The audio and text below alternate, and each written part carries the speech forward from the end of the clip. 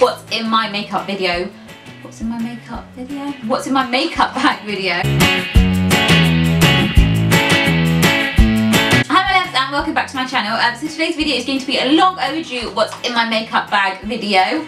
Um, so I'm just going to get straight into it because there is a lot in there. Um, it's absolutely massive. I don't actually use everything but I kind of take it around with me most of the time just because I like to have it as a safety net. I guess I feel more secure and have it with me just in case I need it. Even on days where I've got no makeup on, I kind of just leave it in my bag because you never know what might pop up and where you might need to go and put your face on. Um, so yeah, let's get straight into it. The bag itself is from Primark. Um, I've had it forever, for literally for like two years and it still looks brand new. It hasn't come apart or anything and I hope I hope I don't jinx it now um, but it looks like it's a bra or some underwear or something but it is really pretty it's like a peachy colour with black lace and it fits so much in there um, and I'm just gonna go in go straight in And I'll try and give you a mini review of all of the products as well because most of them I use in a lot of my videos so you guys have probably seen already but this will be like my chance to tell you what I think of them I've just dropped something sorry um, so I will start with my foundation. Um, this is the foundation that I wear every day. It's the Maybelline Fit Me in 220. Um, it's very, very similar to the MAC Studio Fix. I've said this a gazillion times. Um, I'm in shade NC35 in the, in the MAC foundation and 220 in this. The only difference I would say is this is silkier um, so it's better for dry skin than the MAC one, but the MAC one does last all day. Kind of leave MAC for special occasions and I just use this day to day just because I get through so much of it. Um, and I will put this on with this flat foundation brush from OPV Brushes, which is also amazing. Um, actually, probably doing things in order is not going to work. I'm just going to take things out as they come. Okay, so the second thing that I carry around is this uh, Master Sculpt contouring kit from Maybelline. Um, I did a little mini review of this in my September favourites, I'll put the link for that down below or here or something so you guys can click on that and see what I think of that. But I carry that around with me because I wear it most days. That's the brush and it's fallen out. I don't actually want to put it on my legs at the moment because I've got white trousers on. Don't want to be getting contour on white trousers. Um, next thing, this blusher brush is from Boots. Um, and the blusher that I use most days is this um, blusher from Bourjois in shade 85 Sienna. Uh, when you swatch it, it doesn't, it's not really pigmented, but I like that. I like really, really subtle um, blusher. Even when I've gone for like a minimal makeup look, I still prefer subtle blusher. I'm not like a bright pink girl. I kind of prefer nude pinks and browns. Um, and I normally mix that with this uh, Rimmel Bronzing Shimmer bronzer, but I use it as a blusher. So that's been reviewed in my September favourites as well, so you can check that out. But that's what I'm using at the moment for my blusher. If you guys want to see an everyday makeup, well, like this makeup look is kind of the same look I do all the time. If you guys want to see that, let me know in the comments down below and I can film that for you as well.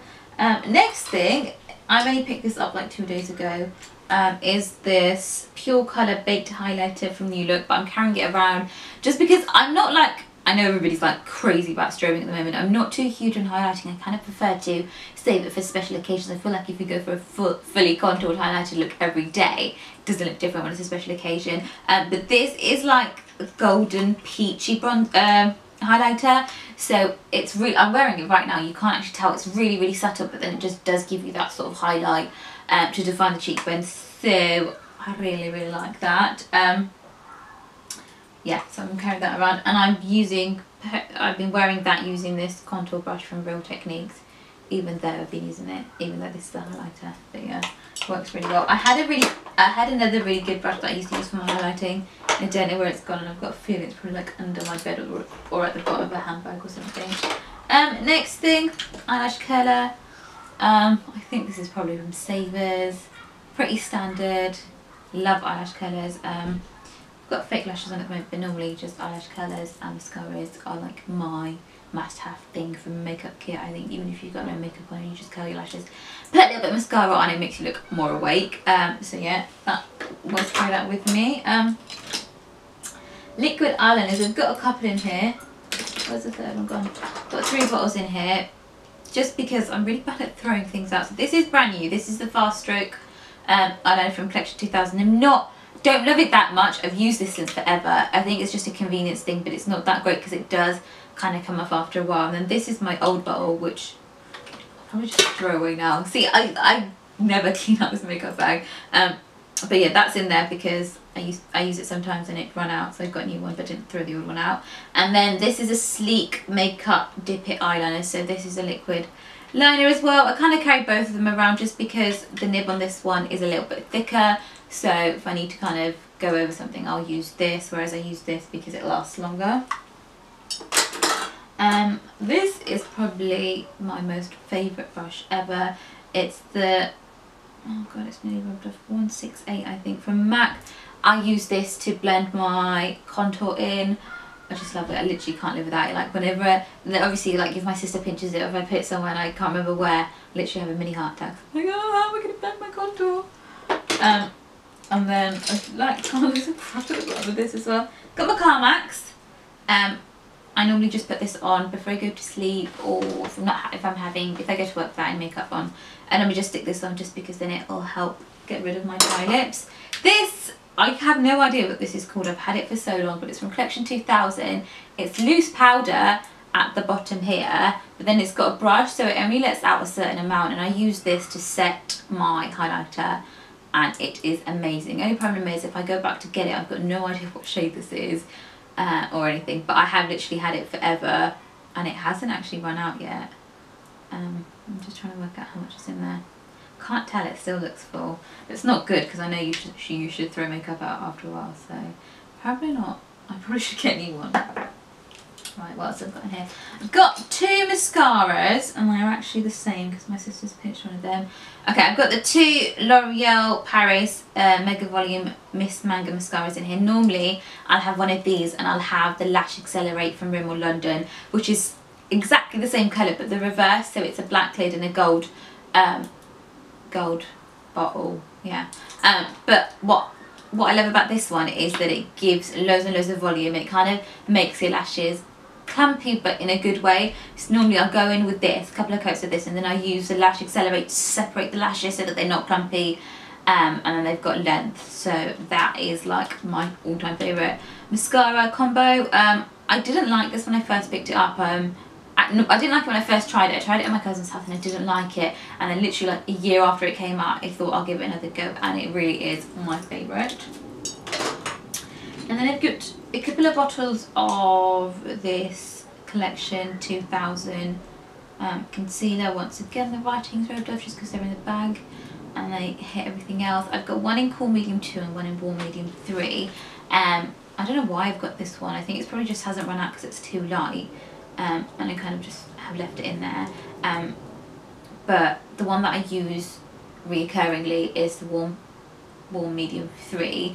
Um, normally I'll just use this to cover my eye bags and then go in with the Age Rewind concealer um, from, believe,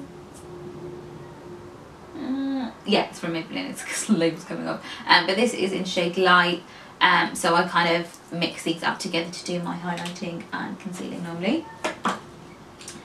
And then I've got a little sharpener at the bottom, um, and I've got a couple of lip liners. Um, so I've, the first one I've got is um, the Rimmel London Exaggerate in shade 18 Addiction. Um, if I use this, I kind of will use it all over my lips and then go over with one of the lipsticks I'll show you in a minute. I kind of tend to stick to nude lips and then maybe a pink once in a while. Um, the other lip liner that I always carry around, and you can see how much I use it because it's so small now, um, is this um, lip liner from Essence in shade 5 Soft Berry. It's like a maroony shade, um, but it goes really nice with nude lipsticks. And this was a pound from Morgenstern's. Um, and the final lip liner is a Gosh lip liner in Antique Rose, which is like my favourite pink shade. And then I've got a couple of lip products.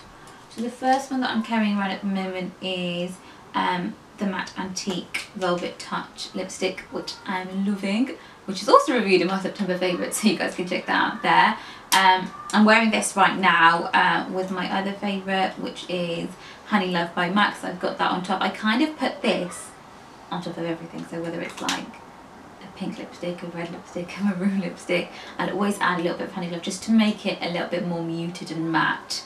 Um, and then the final shade, the final lipstick I've got is um, this lipstick from Sleek in colour Liqueur 775. It's a lovely colour. The only problem with this, I'll wear it like rarely. I don't even know why I carry it around. It's, it's a really, really nice colour but it's shiny and I don't like shiny luster sheen lipsticks. I prefer matte lipsticks. So even when I normally have a shiny lipstick, I'll matte it down with translucent powder.